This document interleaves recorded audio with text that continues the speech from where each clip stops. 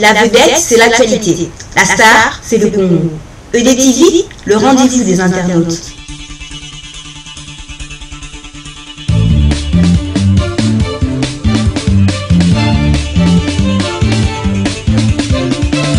Oui, euh, chers téléspectateurs, amis de EDTV, Ney Monia, Wato, Yaki.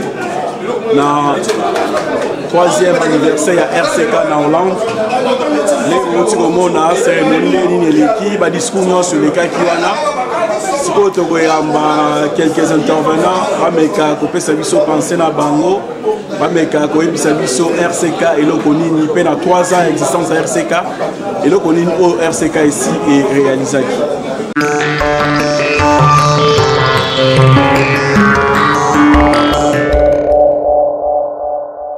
En Afrique, comme partout ailleurs, EDTV, c'est le rendez-vous des internautes. bandeko balandi ya edtv nde toyebisaki bino tokoyamba quelques invités quelques intervenants oyo baparticipaki na anniversaire ya rc 14e anniversaire na bango tozali na mama na biso awa Comment sont vous se présenter Wandiwa. Maman Wandiwa. Merci maman Wandiwa. Ah, tozali na sengo koyamba na ede tv oyoki opesi bamessage moko vraimen ya motuya baamne na biso na source ya mboka na biso congo likambo toyei toyeba masolo nyonso oyo obeti batangisa oyo yango ezali ba recherche personnel na yo to batangisa naloba matolobi eh, mama wandiwa kakutenga mama kongo elingi koloba ete mabele ya kongo ekoki kokende te ntango bamama ya kongo bafandi basimbeli yango nakanisi tosololi masolo ebele eh, kotamba elamu ya rcka ezalaki lelo eh, na misato na résistant donc eponi epai eh, owuti ozali kaka mokundeli ya mboka yo yango nde tosalaki rcka oyo ekotami lelo ozo kobanga eloko moko te ntango mosusu eh, nakoma na nsima televizio me yo sosinye yo mosango na masolo oyo otuni papa na ebandi ya lseka tolobaki kobanda na motolu te omata likolo masolo ya kongo nde biso tozobunda bana kongo mingi babandaka na makambo ya kongo na motolu babalaki tobanda makambo ya kongo ntina se ya na baracine tokomprane eloko nini epasi toyokaka kaka bakoko na biso bazalaka na egypte bakoko na biso bazalaka na ethiopie mais ebandi boni balongwa na egypte bake ethiopie ethiopie ethiopie bake egypte egypte ethiopie ebandi ndenge nini kongo bakongo na biso balongo bapanzani na kongo mobili ya bakongo ebandi ndenge nini miso na biso bana kongo ezalaki ya kokaba soki tolandi diego kao ayaki na 1480 epai na biso ezali isitwale to eza isitwale mondele atangisa biso soki otali kokuta lobaka na biso tozongela bobiso me toyebaka ntina te fala limbolela biso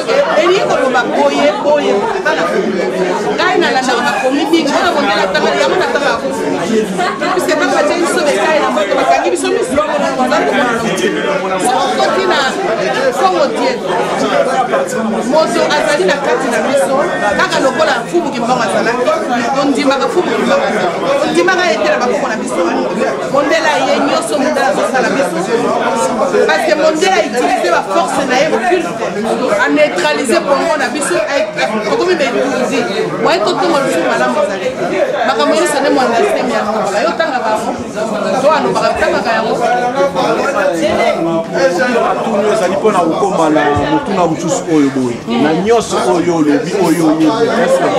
oza koprepare relève te mpe yo mpe bandako parce que biso tozwa occasion wana baenseigne biso masolo wana ya kitoko ese yo opense na relève te bosangisa oyo tokobenga ata mwa ekole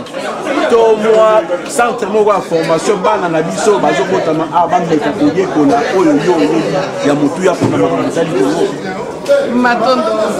matondo eh, makanisi wana ezali mpo nga mpe nazali nano mwana na kati ya bana ngai mpe naza koyekola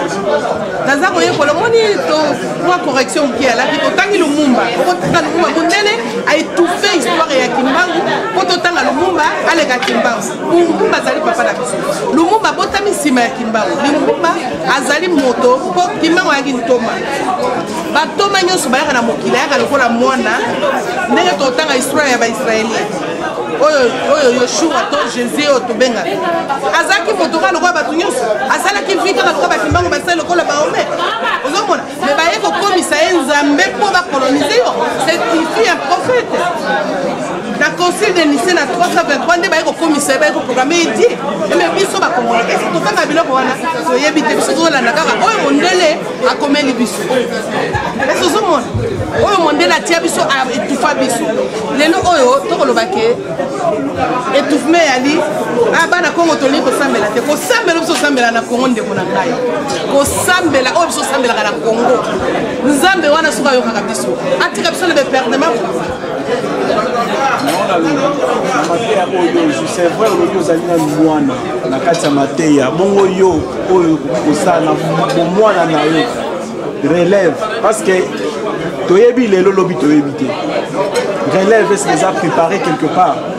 matondo tolobaka na engunduka na baradio tozali koteya bandeko congolais ebele oyo balio oyo barésistant so omoni résistance efanda boye toyebi ke lumbelumbe mwete mwete mingi ya résista tozonga nano na nsima totala makambo ya kongo tozongi ntina bamisisa na biso mpo tocomprendre bitumba ya mama kipavita Eba, eh, nani abomaki mama kipamvita nani atumbaka mama kipamvita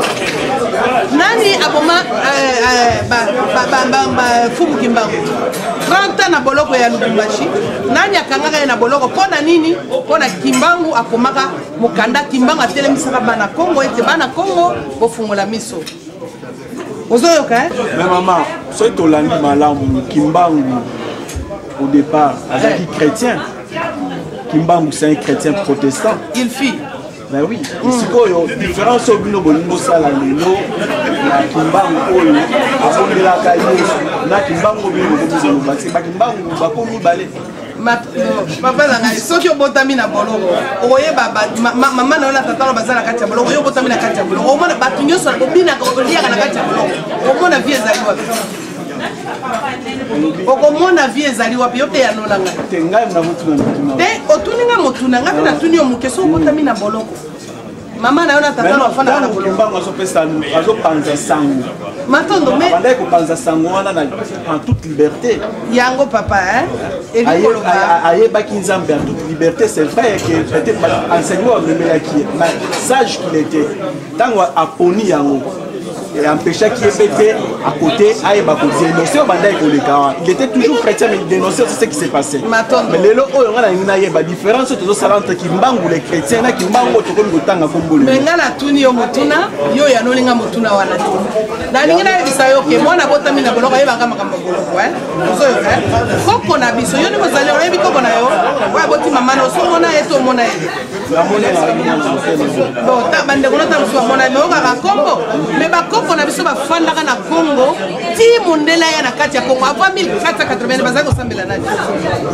bakosambela yesu bazalaki kosambela nzambe na bango mondele naza koya papa malembe te yango naza koya papa kimbango abotami na kati ya monoko mpo ntango bayaki oyokaki babandi koboma bana mike ntango basi baneutralize biso babandi koboma bana mike ya biso batato bakomi na baage bazozwa bana mike ya biso babandi kopesa yango ideologie je vous sali marie babandi kopesa yango ideologie nzambe na bi eh, mpo nzambe yesu akomi nzambe kasi bozalaki nzambe mwana moko ya nzambe abota kaka mwana moko ye wana yesu yango moni ava kimbango ya mama kimbanvita ya ozoyoka eh? bayaki ebele liboso ti mfumu kimbangu aye kobotama na boumbu afandi na boumbu azalaki katechiste wi ndenge toyoka akomi koteya na boumbu me ntango ngonga na ye ekokaki molimo eyebi ye eh? yango omonaki mfumu kimbangu atelemisaki bana kongo abandaki kobikisa bato na nkombo ya yesu abandaki kosala eloko moko tatiki yango omoni bamindele na yo na basango nde bakangaki mfumu kimbangu basambisi ye nde omonaki ntina lubumbashi ndenge bakotisaki boloko mbula tuku misato yango omoni bongo message oyo ozanga mpona 3e anniversaire ya rck mpo toyamba bandeko matondo message to maloba ngai naza nango kaka na bana ya bandeko ba rck tokoba na ideologie na biso to na lolenge na biso tozobundela congo congo ezali mboka na biso fumu kimbangu aloba yango me tobundela congo na ndenge ya esprit ya molimo ya bakoko na biso tobundela congo na molimo ya tepatepa te oyo ezali mayele onga na kopesa bana rck oyo ezali mama congo nazali mwana mvuluzi ya difference bokeseni bolimbisi bana mvuzi na bana mvuluzi kimbangu omoni mingi bazoloba mvuluzi mvuluzi kimbangu azalaki moto oyo asalaki trahison na mboka te motondo mama merci beaucoup voilà eh, bandeko tozokoba kaka na bainvité mpe baintervenant na biso ya journée spéciale ya lelo lelo tozali na les grands combattants ndando le crocodile moto boni Bravo bana mboka. Oboti mwana mwana akokisi mbula misato. Impression na yo ezali nini? Tout d'abord euh, soki ozali kifita ezali mabe. Soki oboti oyebi ke un jour ata oza na pasi mwana nakoki koyini yo. Donc soki oboti yango biso toboti mwana komi na 3 ans sikoyo navandi na kini nyonso nanga lipa me azwi ana lipa esengo na biso seke mwana wana azali mobundeli lobi ya mboka merci bongo papa mwana abotami akoli akokota baklasse kaka awa na poto akotanga kaka awa mpe akosala mosala kaka awa na poto to abotami mpo akende kosala mosala libanda atuka yo bokobi papa biso toza babantu toza na babantu toteyaka bana na biso na ndenge ya kibala donc bana na biso donc mwana na biso ya sekalifone kosala na kongo atanga na kongo asala na kongo alesa idéologie oyo azala na kati ya kongo yango atina tobotaki ye awa me botongo na ye nakangaki yango kozala nauti kokunda yango kala te na kati ya kongo donc il faut azongana awa eza mboka nete mpona malili akoka klima te tomoni mpe opresentaki biso mwana mwana enfant biologique na yo na kati kuna oh yes. ah. esengo mingi oh, mateya nini oyo yo opesaki mwana mpo azala convaincu ke non mokumba oyo ozali kobunda ezali non ah, yo moko uti kobakisa yango mpo ozela biso baresistant na combattant ezalaka mpe ezali juste ezanga atuka yo moko oyebi etake général ngando le crocodile mokonzi ya mai ndenge nabundelaka mboka nazongaka toujours kote ya bana na ngai balobi nakanisa tata oyo akomi na 60 ans ou bien 70 ans atongi sozakonde eza ya ye te aza kotonga nde mpo na bana wana donc ngai général ngando bien sûr napanza komba tosala tu kombe koma libanda me na kati ya ndako nanga mpe na panza ideologie wana kutu message nini oyo opesaka osansaka kino message oyo likolo wana etushaka mwana mpenza mona de non makambo papa azosala ezali vraiment na importance moko kapitali ngai mpe nalanda papa atuka eloko ya biso ntango toyokaka baviole toyokaka baza koboma ngai mpe moto nolo endimaka te mpo nazalaki moto ya ntango ya miziki Foba babwaka Jean-Jacques Marché Koweït ala tous les musiciens mais nazalaki na epoke kaka baloyenge wana sika sikoyo jour moko nde naye kodécouvrir bavideo oyo baza koviole basi na bana na kongo nabengaki bana na nga wana mpo nalakisa bango mpo soki olobi na monoko taza koloba papa kosi na ye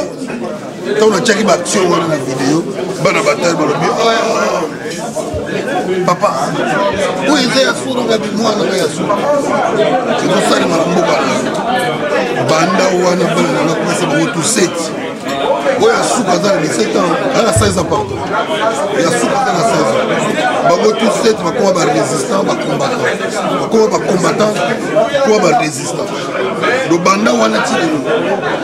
po message nini oza nango ya kopesa na bana mosusu oyo baza na meme age na mwana na biso toyoti komona kuna na kati baza na kotraine baza na nkobite bakanisi ke bango bavandi awa na abri bango kuna bazoboma bango kuna bazoviole etali bango te ezali bo baa na afrike bango bavandi awa bien batanga baklasa bien message nini okopesa na bana wana mpe na baboti ya bana wana atuka message ya makasi ezali mwana nango bi gerard ngando apesi message apesaka mpe na message mais ya lelo ezali mbotama ya rsaka mpo mwana biso akomi na 3 mais message ezali tout le jeune ba jeune fille banda na age ye meme ya 00 akomi kaka to na 5 ans bazoyeba makambo nasengi na bana wana ti bokokola bolinga bobundela mboka esika tofai na europe eza mboka na biso mundele lobi bapasseport apesa biso akoki kobotola biso me bakoki kobotola yo kongo te bana na ngai baleki na ngai nasengi na bino tobundela kongo ezali mboka na biso oyo nkita oyo batikela biso soki obwaki mongongo mbuma ya mingenge ongola mingenge boti obwaki mokokoli ya manga mokoko na manga ekoti awa na poto na mekaki kobwaka ata mbuma masango rien nasengi na bino gérard ngadati no message soki baklasse botanga olingi mosala ki militaire kota parce que ozwa bwanya wana mpona mpe obundela mboka oyanga message yango wana natindeli bino botelema wake up stand up bunda mpona mboka na Merci Ingeta. Ingeta, merci euh, bandeko ezalaki bongo le général Ngando le crocodile. Merci beaucoup. Yo yo. Bandeko balandi ya Ede TV ya nde toyebisa bino omoni tomeki kochanger mpe plateau na biso toujours na kati ya anniversaire au troisième anniversaire ya RCK tozalaki kuna bino mo boyoki mwa makele pamba te bandeko bazali baya kolia mwa kwanga bazomela mwa ya sukali mpo na kosepela mbotama ya RCK Tozali awa na Cordon Sali, Cordon Sali, bonsoir. Oui, euh, bonsoir euh, Rich Tapet. Bonsoir à tous les peuples congolais. Bonsoir. Merci bien. Sentiment na ezali komona RCK ebotami ekoli ekomi na 3 ans lelo. Oui, ezali esengo mingi. Euh, pourquoi c'est pas euh, mwana botami tokoki koloba nyonso to ezali kosalema mpo na congo Eh, c'était les ras-le-bol oyo biso bapeuple congolais tomonaki souffrance comment bato bazali kokufa tokomaki na plus de 10 millions de morts bafemme bazali kozala viole epuis mikakatano ezalaki mingi na kati ya mboka na biso tozalaki oblige ya koyeba kotelema kotelema cela veut dire quoi il fallait toluka to créer structure oyo ezali eh, convenable oyo ekoki kopermettre biso mpo tokoka kofonctionne yango wana bomoni toyaki kosangana bacombattant ya, ya monde entier tobandaki eh, ya france belgique allemagne angleterre et ainsi de suite hollande tosanganaki biso nyonso to nde toyaki kosala structure oyo tobengi plateforme tobengi rck monde oyo ezo permettre biso totambola tomema idéal na biso tomema vision na biso epuis na objectif na biso oyo tobengi libération totale ya kongo nde lelo tokokisi 3 ans ya création ya rck mais eza anniversaire te voilà. voilà. rck ekokisi 3 ans c'est vrai na biso nyonso toyebi ke combat ezali awa na poto te RCK ezali résistant combattant du Congo. Bitumba eza na Congo. RCK esalami awa 3 ans ya RCK. RCK akokota classe awa akobanda mosala awa to objectif ezali ya kokita na kati ya Congo. Oui papa, effectivement, quand on dit la résistance, résistance tozali ko résister contre force ya occupation. les résistants eloko tu babengi résistance bitumba ebandaka mingi na libanda ebandaka na kati te même soki ozosala plan de guerre okobanda yango libanda après oye koatake motu na front congo eza mboka na biso eza mabele ya bakoko na biso soki nalobi ndenge yana tozali oblige fo tokende mais à quel moment tokoki kopesa jour te tokoki kopesa mokolo na rd mais toyebi ke tokodescendre mais kokita na biso ezali mpo tokimisa imposter oyo azali na pouvoir mpo to soki tokiti tokoka kochange système ya mabe oyo ezali kodétruire mpe kobebisa mboka na biso mais le moment venu effectivement nous allons descendre tokomema résistance oyo bitumba toza kosala awa tokomema yango na mboka na biso ya congo bozomona te plus tozowumela awa plus eh, resistance eh, yango ezozala kaka awa kuna mpe monguna azomona lokola ke aza ne inquiété te akokontinue kosala oyo azosala Moi, je peux te dire non, parce que le peuple congolais, peut-être que Ozala Nabambilon, Michou Mike Mike, Eza Ozanga, mais la population congolaise, il y a des millions là-bas au Congo. Bisso A, Ozali minorité. Mais effectivement, Ozana raison, dans le sens que euh, euh, mpo bato bakoka kotelema esengeli na ndenge tolobaka balider sacrificateur balider charismatique oyo bakoki kotelemisa kosouleve peuple oyo bakoki koloba bon lelo biso sikoyo tozotelemisa peuple mpo peuple batelema babima il faut kobanda d'abord koconscientiser et peuple wana komema éveil patriotique pour peuple congolais à comprendre les vrais sens ya combat soki peuple à comprendre vrai sens ya combat ekotinda ye abunda biso effectivement nde olobi eh, tokokende mais tokoki kokende ngulungulu te tokoki kolanda sentiment te po exemple opose nga question ou n'importe quel journaliste nalobi bon maintenant je descend au congo il faut nakende Et Nata, il faut d'abord na niveau ya organisation na biso moko ya RCK. Quand est-ce que tokoki kotia makolo mena yango na ebisio tozali ko se préparer kokende na biso ezala mutu wana nde foto longola ye foto bengana ye na système nyonso tu wana après biso moko toyeba se qu'on va faire c'est vrai combat ezali na congo eza mpona kolibere congo me awa na diaspora esika tovandi bacongolais mpe bazali estce na 3 ans oyo yo omoni ke message ekomi epai ya bandeko na biso bacongolais nano baza awa bacomprendre sens ya message oyo rck ezalaki créer Oui, effectivement, on a fourni des efforts énormes. des efforts énormes lelo rc katango tobandaki e, ezalaki eloko moko tobandaki moke mais lelo tokomi na les cinq continents tokomi na bapays nyonso tu nakoki kobanda kosite te pourquoi parce que tozo travaille kotravaille na biso ezali koconscientiser peuple ya diaspora esika nyonso peuple bazali de façon que éveil patriotique ekoka kokotela peuple bakoka koyeba sens ya combat pourquoi tozobunda yango nomoni eloko oyo biso toye komema lelo soki tobengisi bato na bamarche bato baza koya na bamarche soki tobengisi bato na sitine bato bakoya na baconférence na badeba ndenge bomoni mpe eh, lelo eh, eleki eloko wana toza kosala yango pourkui tozosala yango na gloire na biso te tolingi peuple congolais azwa nde conscience par rapport ya souffrance ya bato oyo baza na mboka awa biso toza malamu me tozobunda nde mpo na bango lokola peuple congolais alingi mingi makambo ya ambiance masanga makambo ya mizike bafitilité wana amoki cordon sali olobi euh, message ekomi bandeko bazolanda me tomoni ototanga makambo ya baambiance awa problème ya miziki ezalaki moko ya baki oyo komba oyo ekokaki koloba kobetela toloke no topekisi eloko bozosala mosusu te mais là moment tozo vivre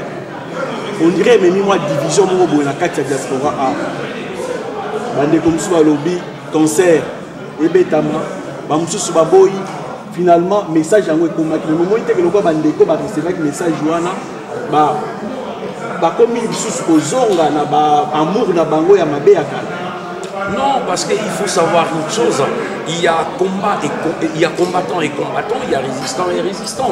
Na lobaki tozali na ba combattants actifs, na ba combattants passifs. Ba combattants actifs ezali bato bazo bunda na bosolo, ba patriotes oyo baza na vrai et amour patriotique, balingi vraiment kobunda mpo na mboka na bango. Mais bango kaka bakufi te parce que bakozala moke par rapport ya c'est vrai toza na besoin ba combattant actif mais toa mpe na besoin ya peuple nyonso ya congolais quand même na mwa majorité mo bacomprendre oyo bakoki mpe kolanda cause parce que na miziki ya bandeko ebele balandaki bandaki koya na biso mpe na bamarche te na baréunion ko banda kozala te mais bacomprenaki ke non miziki ezomemela biso eloko moko te bavandi na ndako mais quelque part kaka bango mpe tobanda komona tokomona bango mpe soki bango kosala bavideo mosusu le contraire ya oyo balobaki liboso maintenant il faut, il faut comprendre une chose euh, bamusicien babimemi na biso te c'est des peuples congolais comme nous mais sauf que biso tozo lite contre ba antivaleur contre bango baza kodétruire même bavaleur culturelle na biso boyebi barevendication topesaka tout le temps bokoki koimagine euh, exemple ba, ba, lelo misike oyo biso topekisaki boyebi pourkui toboyaki lelo tomoni exemple euh, le, le producteur ya jibe mpiana akendeki na, na, na congo mais bake koyamba ye na olive lembe de quel droit ou na sens nini un producteur mpo azobetisa eh, concert moko na paris to na belgique bakende koyamba ye na olive euh, lembe euh, oyo aza kuna na congo eza na sens te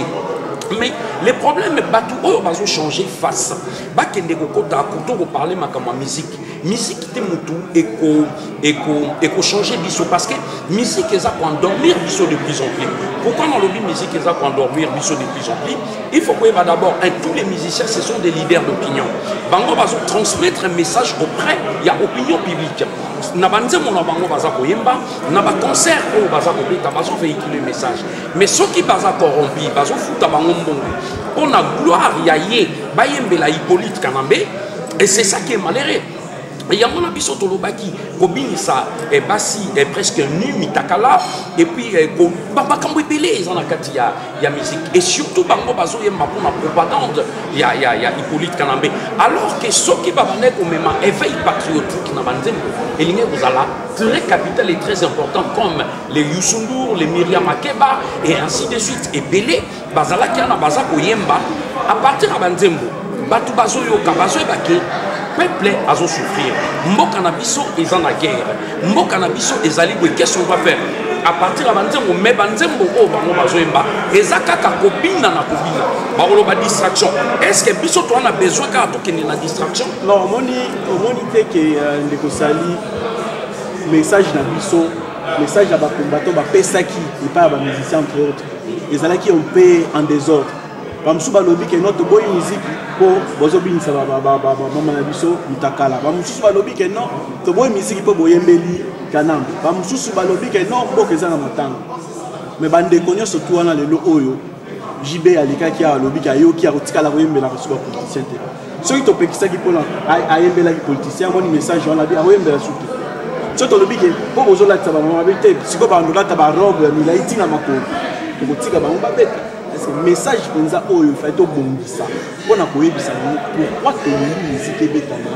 nanu te pour le moment ezalaki vraiment nini message ya solo oyo ke parce que eza ni euh, koyembela kabila parce que à l'époque ntango eboye bapekisaki yango na france na angleterre bayembelaki kabila mpe nanu te na france ezalaki nanu te baye koyembela kabila na 2011 awa tokomaki lokola ke non eza kaka mpo bayembeli kabila yango moni mpe topanzani non tosengaka na bango à l'époque ndenge yo olobi tosengaka bango bavéhicule batransmettre bamessage na bango yango na parlaki yo sur des champs patriotiques bamema éveil patriotique à travers ya bachanson à travers ya banzembo tosengaki bango babanda mpe koloba baza ba leader d'opinion leader d'opinion ezali mpe bino bajournaliste ntango ozoloba bato bazolanda yo ezali biso baoyo ntango tozoloba bato bazolanda il faut message na yo emema éveil alors ke bango ezalaki le contraire omoni lokola corruption eyaki kokota mingi na kati ya monde ya musique exemple nde napesi yo eloko balingi basala na zénith omoni ke biloko tozopekisa yango wana oyo ya zenite eza na honneur ya gloire ya hippolyte kanambe nde balingi babeta eh, concert wana mais biso eloko toa nango besoin ça je vous dis toza na besoin ya changement ya congo mpo changement ezala na kati ya mboka na biso congo les, les, les mauvais systèmes les rwandais kesi ont fait bayebi mpe que peuple congolais alingaka musique kobina komela masanga ambiance baye kokotisela biso eloko wana yango tozobenga yango la distraction donc musique ekomi baconcert ekomi neti distraction mpona peuple congolais ils n'ont rien à faire il faut que danser eh, soki botali même na nini ya komona ye nani ya fere ya, ya, ya, ya musicien oyo fere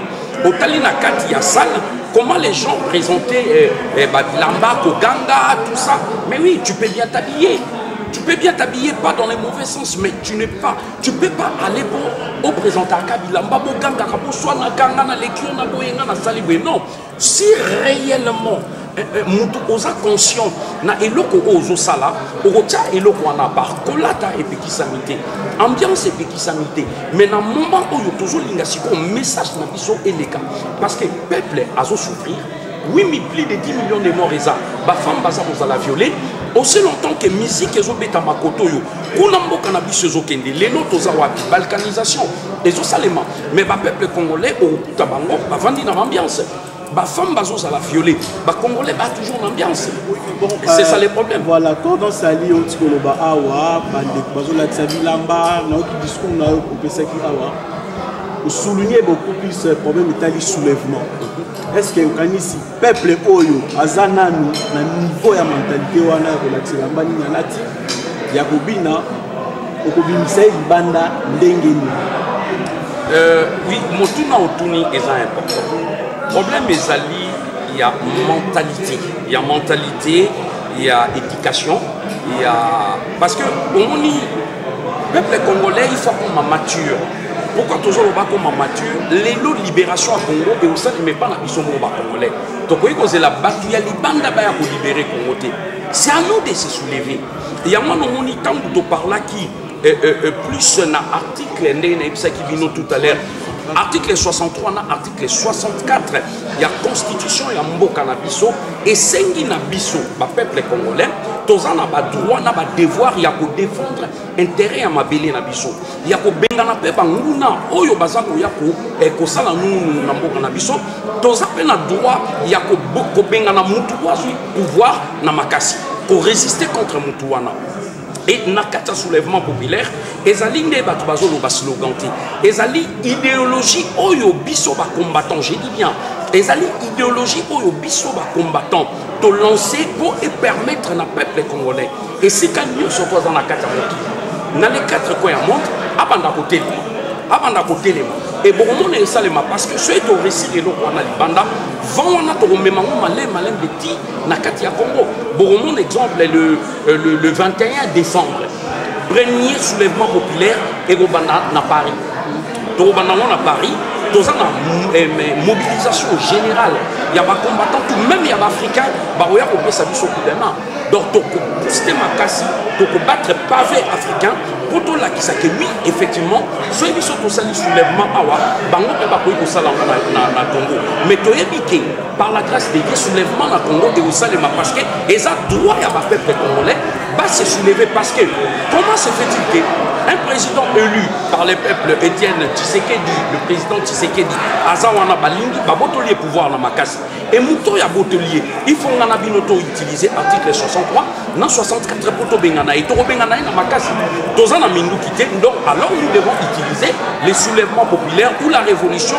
et pour nous wana akoka kokende sans cela akolinga à se maintenir wana pendant des années et des années. merci beaucoup kodonsa mot de la fin oza nango surtout mpo na baoyo baza kosantete na likambo ya le 21 message noko opesa bango et faire comprendre bango koya na conseil wana ezali koyina kongo ok euh, message nakoki kopesa ezali juste ke todekretaki journée couvre feu le 21 journée couvre feu tobenga tolobaki e todekretango le 21 décembre aux alentours ya zénith de paris donc soki oyebi kokende concert komeka na yo koya te journée wana toza na besoin juste tomona bacombattant e mokolo wana nde tokosala toyebi elongo nini tokosala na journée wana c'est tout ce que je peux dire mutu koya te musique eza koapporte biso rien yango te eza kofaire vivre biso la musique ne nous apporte que la distraction c'est tout sini nini oyo koyeba oyo aza combattant oza combattant te opose eh, moto question na yo eza malamu moto oyo ayaka eh, na ndenge ya koinfiltre bokoyeba ke moto oyo aye concert na oyo aye concert te nakolakisa yo te mais moyen mpe na explike yo te parce que s'il s'agit ke biso mpe tokotela bango na kati bato mpe bakokota libanda bakokota mais soki oyebi ke okomeka koya na concert wana mieux vaut éviter parce que ntango biso todécrete couvre feu tosengi na bamama bokanga mibali na bino bacousin bacopain baya te bapapa bokanga basi na bino bakopi eh, na bino mokolo wana mpe bango mpe baya te concert ezali te bobosana yango bovanda na bandako na bino me apart wana concert ni na france ni na europe partout na monde ebeta te c'est pas dit seulement mpo na jb ezala le wera le papa wemba le kofi le fali le bango tu bato wana bakobeta te donc musique pour l'instant ekobeta te jusqu'à la libération totale du congo ata bolobi ata bobude togarde eh, principe wana ezali mibeko oyo tobengi loi mibeko soki ekwei ekwei mibeko ezali nini concert ekobeta te jusqu'à ce que hippolyte kanambe akolongwa après on verra entre nous les congolais tokovanda na bamusicien nde tokoyeba kosolola et il y aura pas de problème merci bonne soirée merci voilà euh, ndeko osali alobi concert ekobeta te bayini musicien moko te na mboka eza na baproblème toyeba kobongisa baproblème oyo toza nango na kati ya mboka tokovanda na bandeko na biso baartiste musicien bongo tokoyeba na bamesure nini oyo bakoki kobeta musike en plus nakobakisa mwa likambo moko bandeko musicien soki vraiment bolandi oyo bandeko bacombattant bakongole lokola bino bazoloba bosaleli yango bokokoma bariche chaque disque bobanda obimisa na congo ekozalaka disque d'or imagine mpe population ya congo